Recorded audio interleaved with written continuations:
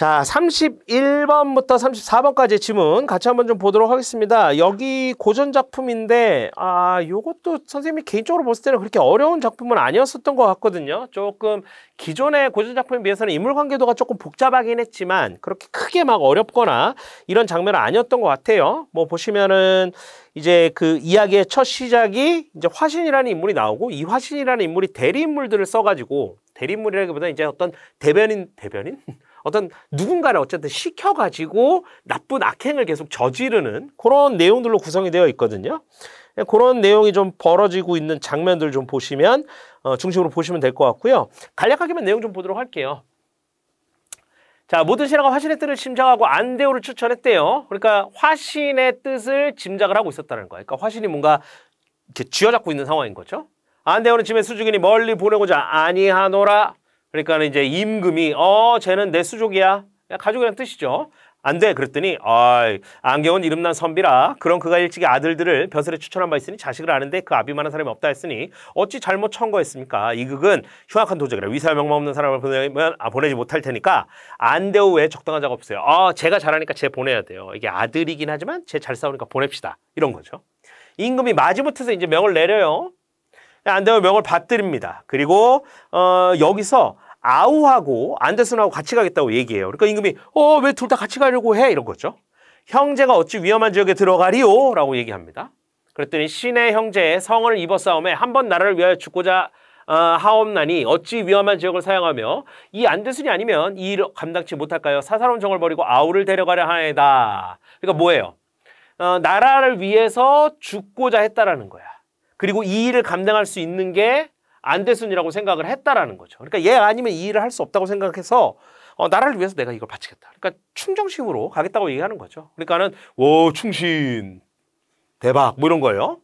그래서 이제 바로 가고 그러면서 돌아와서 이제 부친께 편지 올리고 행장 차려서 나가는 겁니다. 안저, 안우, 안대우 형제가 변방 오랑캐 물리치고 형제가 명망을 얻자 화신은 이들에게 누명 씌우고 이로 인해 안대수는 죽고 안대후는 귀양을 가게 됩니다. 그러니까 하나는 귀양을 가게 되고 하나는 죽음을 맞이하게 되는 거죠.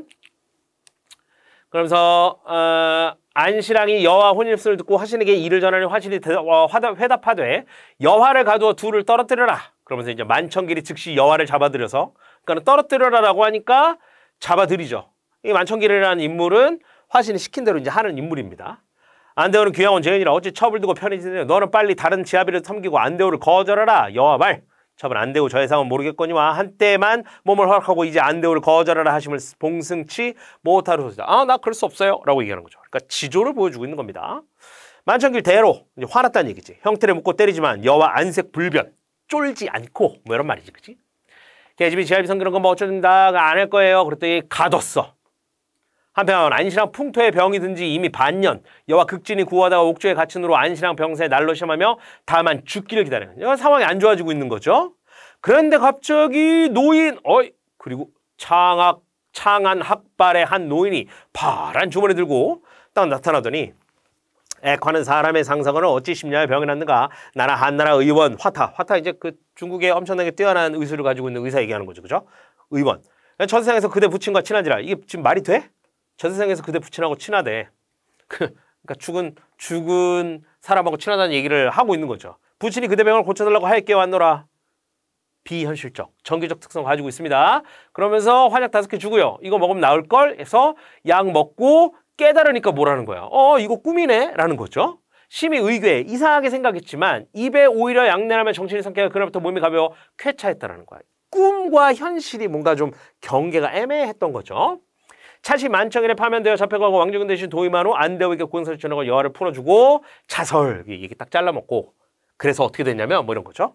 정몽열 화신의 신복으로 벼슬이 이부상세에 이르니 이르는 화신도로왈 제가 태자의 기득을 본즉 상공을 부족하게 여기고 안대우 등을 그리워하시니 만일 안대우 들어오면 상공가 우리 무리 죽을 곳을 모르지라 모를지라 먼저 안대우 가족을 다 죽이고 왕정에게 서울의 벼슬을 주어 불러 올린 후 여통민으로 여주 아, 애주 태수를 시켜 안대우를 죽이면 후안을 가히 면하리라. 그러니까 화신한테 이제 정몽열이 뭔가 이제 안을 지시하는 거죠. 문제를 해결할 안.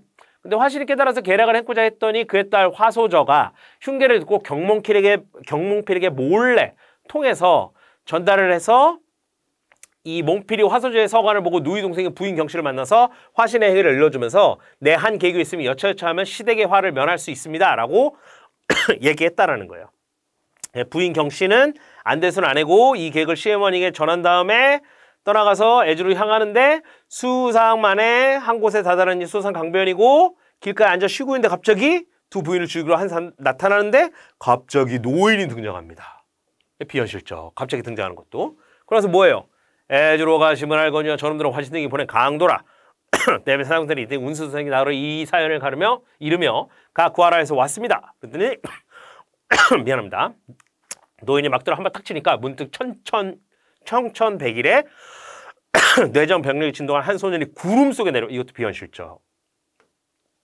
강도 결박해서 문제 해결했다는 거예요. 두 부인이 공중을 향하여 무수히사라고 길을 향하여 수상만의 애주에 이르니 안신랑이 대경 대의하여 깜짝 놀라 완전 기뻐하면서 맞이하더라. 이런 걸로 이제 이야기는 마무리되고 있습니다. 그래서 보면 조력자의 도움을 받고 있고 꿈속에서 벌어진 일이 현실하고 조금 이어지는 부분이 있고 뭐 이런 특징들이 작품 속에 나와 있어요. 그리고 등장인물이 기존의 작품들과는 조금 다르게 좀 이렇게 개입되어 있는 인물들이 좀 많이 있습니다. 자, 34번 문제 보겠습니다. 34번은 오답률 1위에요. 이것도 아마 이게 왜, 왜 틀렸는지는 개인적으로 잘 모르겠더라고요. 이거가 좀 어려웠던 건지 뭐 이렇게 좀 보시면 보기를 참고해서 윗글을 감상하로 되어 있어요. 근데 적절하지 않은 거 고르는 거죠. 정, 아, 징세비태록에서는 악인이 대리자를 통해서 정치적 대립관계에 있는 선인의 가족을 해코지함으로써 간접적으로 선인을 공경에 빠뜨리면 물론 궁극적으로 선인 가문의 몰락을 주도하고 있어요. 대리자와 가족을 정치적 대립구도에 포함해서 갈등 상황을 조금 더 이제 다양화시키는 것, 그 입체한다라는 표현으로 되어 있는데 이걸 바탕으로 했을 때 적절하지 않은 걸 묻고 있거든요. 그래서 선택지문 5번 보시면 만천길이 가족을 잡아들이고 정목렬이 가족의 급습을 도모하는 것에서 악인의 대리자가 선인 가문의 몰락을 주도하는 방식으로 갈등 상황을 입체하고 있다 이렇게 되어 있는데 지금 악인의 대리자가 가문의 몰락을 주도하는 방식으로 되어 있다는 건 적절한 표현이 아닌 거죠. 그렇죠? 그렇기 때문에 답은 5번이 되는 겁니다. 생각보다 이거 왜 틀렸는지 잘 모르겠습니다.